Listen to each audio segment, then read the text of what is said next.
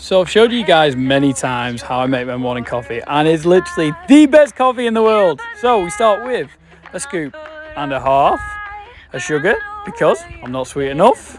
And then we go out and see the girls. They come hurdling in. Look at them, so pretty. And then we get our mug again, fill it at the hot tub. Very important, not right to the top. And then we go back to the parlour. We look for the cow. Cow selection is key. And this girl 253 was perfect.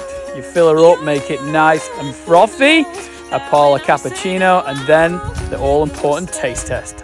Oh, what a great way to start a morning.